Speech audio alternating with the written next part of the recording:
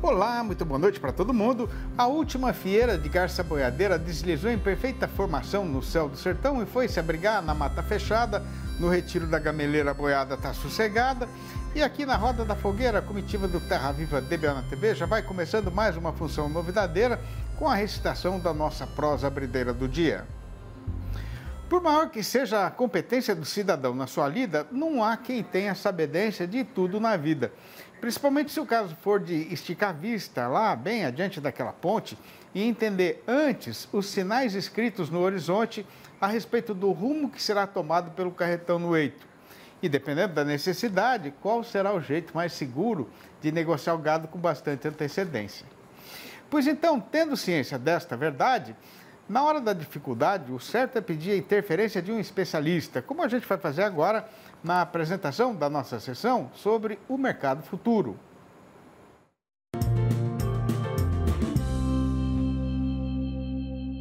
Olá, amigos do canal Terra Viva. Aqui quem fala é Douglas Coelho, sou zootecnista e um dos sócios fundadores da Radar Investimentos. E hoje eu estou aqui para traçar um breve panorama dos mercados de boi gordo e de milho. Bom, pelo lado do boi gordo, a gente viu uma semana na qual as escalas de abate ficaram ligeiramente mais confortáveis, boa parte dos frigoríficos de São Paulo precisam preencher os abates do final de janeiro, 29 de janeiro, até o dia 5 de fevereiro, é, enquanto a carne no atacado veio trazendo ligeiras quedas puxadas é, pelo recuo dos cortes e das peças de traseiro, que é um movimento típico, normal para janeiro, uma vez que os preços dos cortes grilos e do traseiro subiram bastante em dezembro e tem corrigido agora juntamente com, com o preço da carcaça suína. Isso limita é, a indústria a ofertar preços de balcão pelo boi gordo, pelo animal terminado, em valores maiores. Então, aqueles preços que a gente via ao redor de 250, de 245 no começo do ano, atualmente estão mais próximos de 240, de 245. Nossa referência aqui na Radar Investimentos está em 243. Quando a gente olha para os diferenciais de base em relação a Minas Gerais, a Goiás, a Mato Grosso, Rondônia também estão muito esticados, sugerindo que São Paulo está é, tá no patamar mais alto, enquanto o restante do país está no patamar mais baixo. Olhando para o mercado do milho, o mercado do milho em janeiro bem travado, há uma preocupação global, não só no Brasil, mas também de outros países em relação aos efeitos do El Ninho é, na nossa produção. Apesar disso, a gente viu em janeiro, e, e não só na B3, mas também no indicador Exalc, é, recuos no preço do milho. Né? Havia algum é, milho estocado e na virada do ano, com a colheita da soja, o produtor tem vendido esse milho para fazer caixa. Mas são negócios pontuais.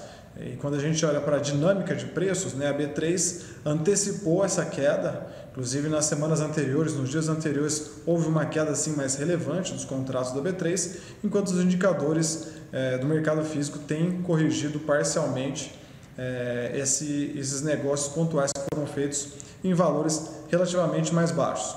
Mas toda a atenção ainda é pouca, é, a questão do El deve continuar ainda no primeiro semestre de 2024 e é um ponto não só bem importante para a pecuária, para a agropecuária como um todo, mas também para a inflação do país.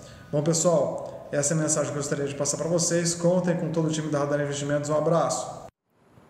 E com a boiada no jeito de continuar ganhando chão no eito, a gente vai dando continuação na nossa função, pegando o noticiário dos insumos pecuários para destrinchar, fatiar e fazer um resumo para uso e consumo dos companheiros boiadeiros que tenham precisão desta informação. Olá a todos que nos acompanham. Eu sou Pedro Gonçalves, eu sou engenheiro agrônomo e atuo como analista de mercado aqui na Scott Consultoria. E hoje eu venho trazer para vocês uma relação de troca entre o algodão, né, 38% de proteína bruta, e a arroba do boi gordo.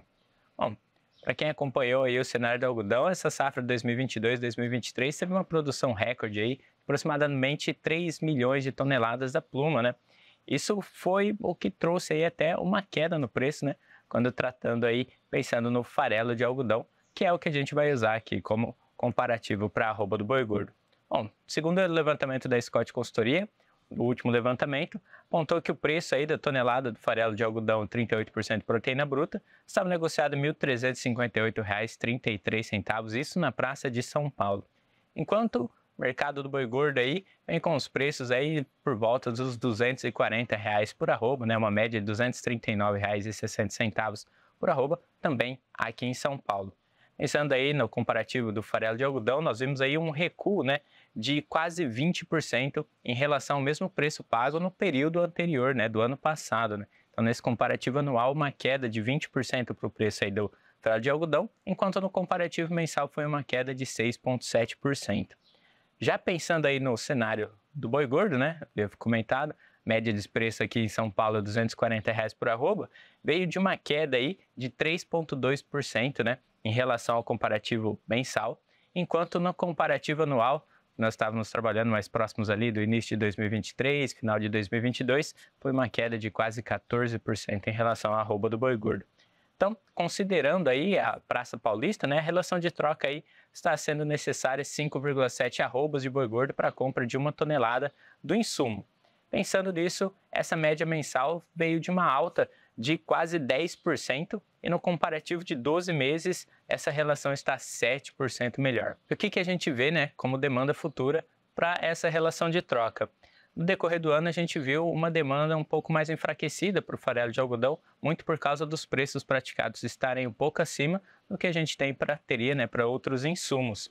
Isso trouxe uma pressão de baixa na cotação aí do farelo de algodão. Isso deve auxiliar nessa relação de troca, visto que a arroba do boi gordo tende a ter uma alta, principalmente no começo de fevereiro. Janeiro ainda é muito cedo para falar de alta na cotação da arroba do boi gordo, muito por causa de uma demanda enfraquecida, férias escolares, é, o pessoal prefere viajar, fazer o churrasco em casa, comprar carne bovina, também aos impostos, o IPVA, IPTU, que impacta diretamente no poder de compra do brasileiro. Então, para fevereiro, talvez aí a relação de troca esteja mais positiva para o pecuarista frente a esse insumo. Bom, pessoal, o que eu tinha para trazer hoje era isso. Mais uma vez, muito obrigado. Forte abraço a todos vocês e até a próxima. Com a bezerrada que já foi apartada sendo contada em mais de milheiro, a gente vai fazer agora um intervalo ligeiro para deixar a peonada descansar. Mas é já que esta lida apartadeira vai ser retomada. Aguarde. De volta para o Eito, a gente recomeça esta lida novidadeira e noticiarista com a apresentação da nossa sessão batizada de Pecuarista em Prosa, que foi criada com a intenção de fazer o reconhecimento e a louvação da contribuição das companheiras mulheres que estão na ponteira da agropecuária brasileira. E retomando a exibição de entrevistas inéditas, no programa de hoje a gente vai conhecer uma fazendeira que teve a coragem carecida para mudar o tipo de atividade e o destino da sua boiada. E hoje está podendo comemorar o aumento da lucratividade da propriedade. Aprecie.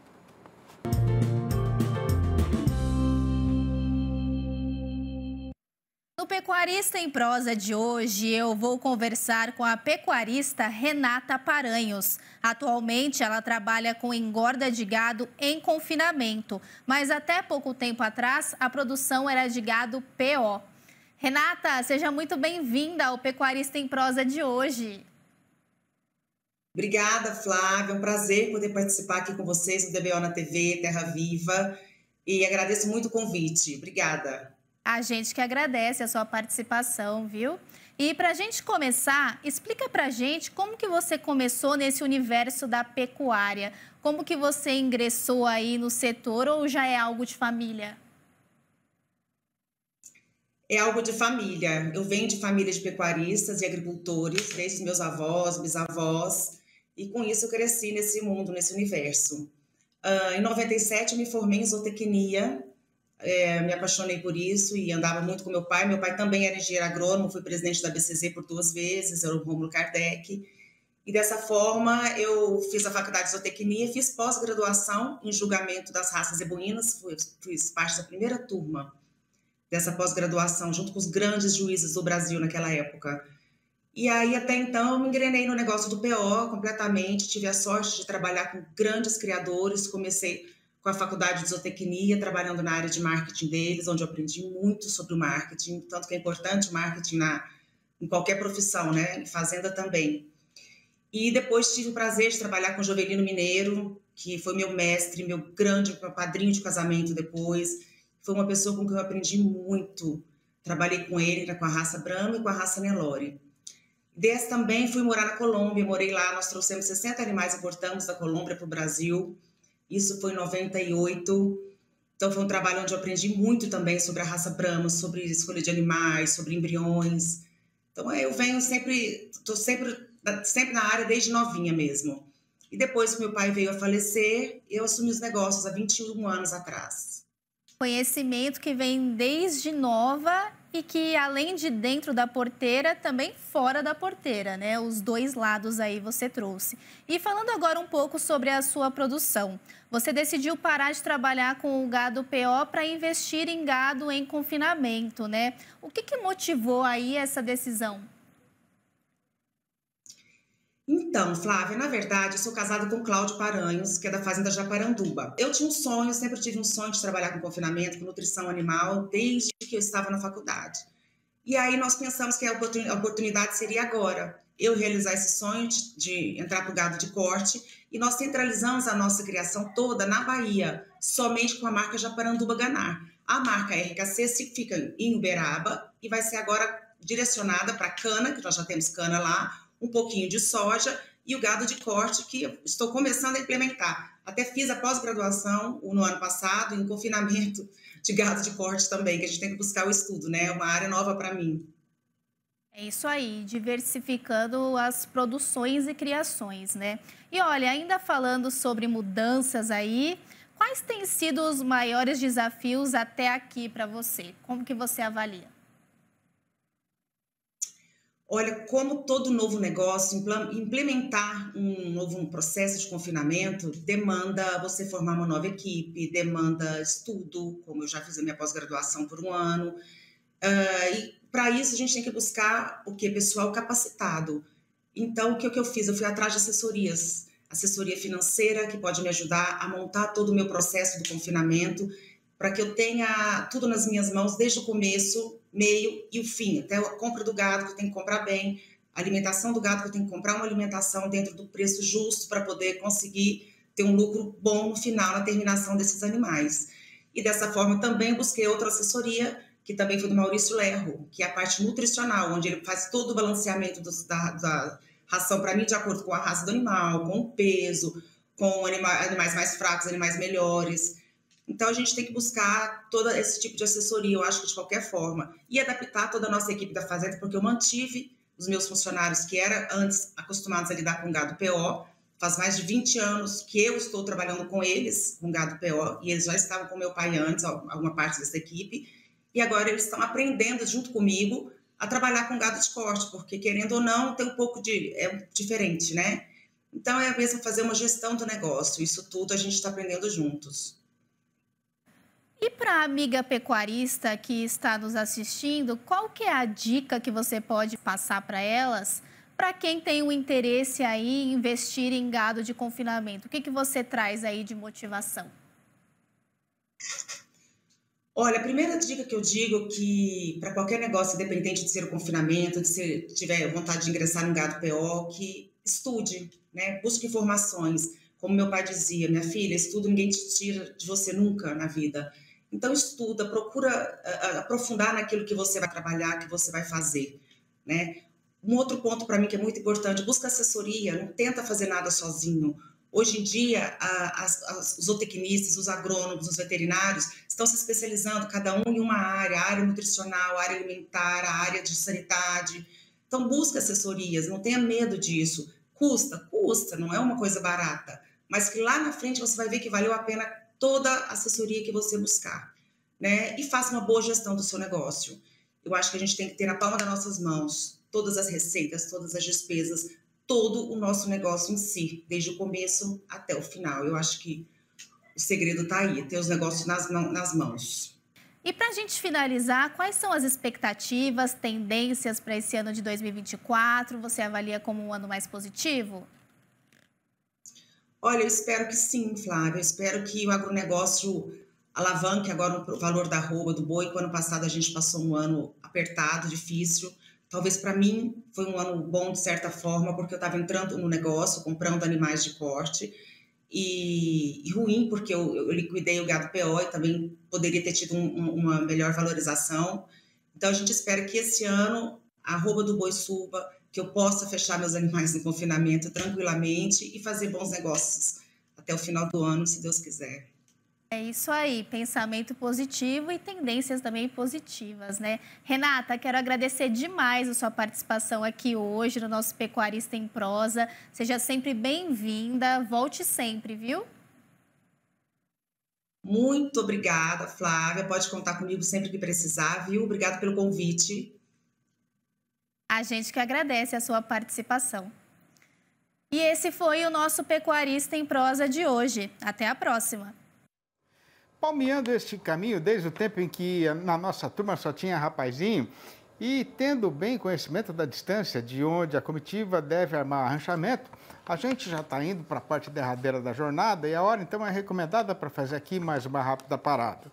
E quando a marcha for recomeçada, a nossa prosa vai ser a respeito do andamento da negociação com o boi gordo, que tem hoje a seguinte manchete avisadeira. O consumo agora está mais fraquinho do que filhotinho de cuíca que saiu da barriga da mãe antes do prazo determinado pela natureza. Mas os especialistas do mercado têm certeza de que esta fraqueza não demora para acabar. E para o pecuarista, então, a recomendação é de pisar leve no chão e esperar essa hora chegar. O Terra Viva DBA na TV volta já. Aguarde. Numa hora tirana como esta de agora, qualquer falação engana e distrai o sentido até do fazendeiro mais curtido nas artes do comércio boiadeiro. E para não deixar ninguém desassistido neste momento, o Terra Viva DBO na TV faz aqui o esclarecimento de como foi o andamento da negociação e de qual é o preço verdadeiro que está sendo falado para o boi gordo no mercado.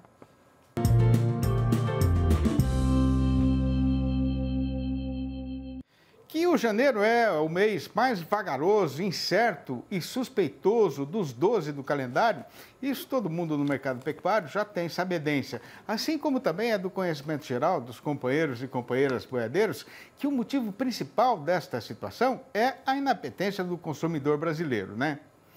Pois então, este roteiro costumeiro está sendo perfeitamente cumprido neste começo do ano presente de 2024. Mas o que está sendo motivo de preocupação é que o carretão está demorando para reagir e pegar outra vez o rumo de subida no estradão. Conforme tem sido falado aqui dia sim e outro também, faz tempo que os dinheiros do último salário e do 13º criaram asas e foram embora. E nestas horas de agora, o vivente está com a algibeira até areada de tão vazia, mas com um jacá cheio de contas para pagar. Aí, para a maior parte da população, a solução é, de novo, trocar o bife pelo frango e o frango pelo ovo e se conformar, né? Enquanto isso, o açougueiro está torcendo para o tempo passar ligeiro e chegar logo em fevereiro para sair o próximo pagamento e para o trabalhador empregado poder voltar a frequentar o seu estabelecimento.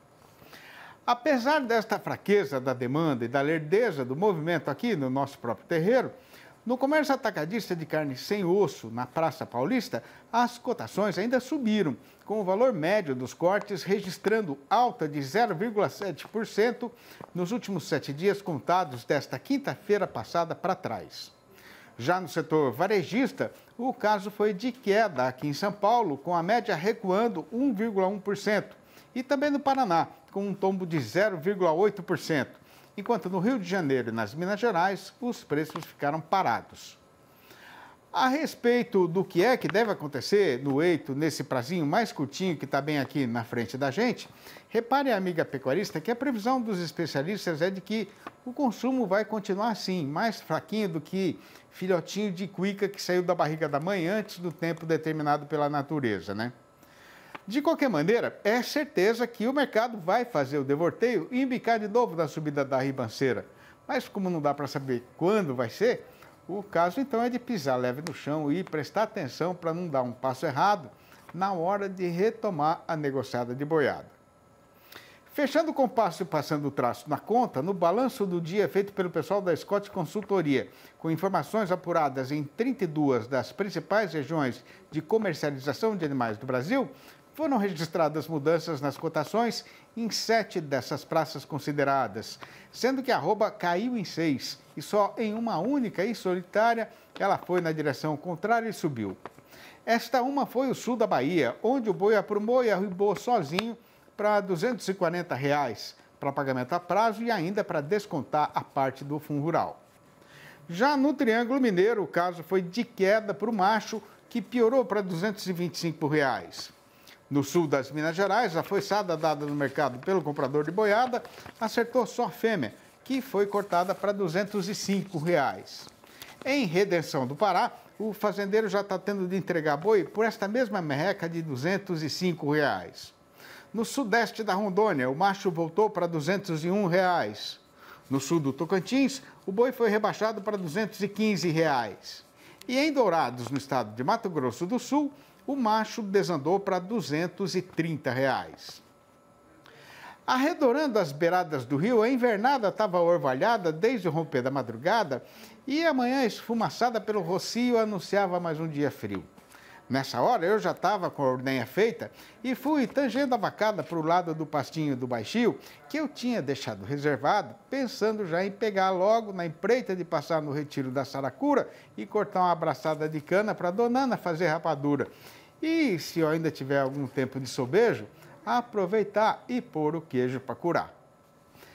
Conforme o companheiro e a companheira boiadeiros têm bem sabedência pela sua própria experiência, para quem leva a vida na lida campeira, a inspiração para fazer poesia sertaneja sobeja desde o amanhecer do dia até as horas em que a lua prateada alumia a chapada, né?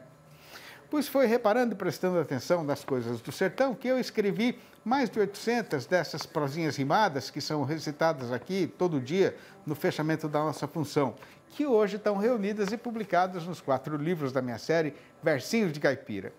Quem ainda não tem e está querendo saber como fazer para comprar um exemplar ou logo os quatro da coleção inteira, pode perguntar diretamente para mim no meu telefone particular, que é o 11 98 224 1807.